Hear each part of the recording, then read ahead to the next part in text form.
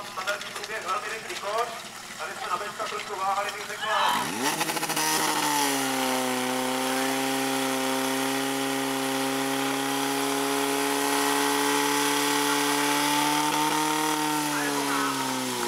Je to bylo 16, to byla brutalita jako vždycky, ani mi to nepřekvapuje,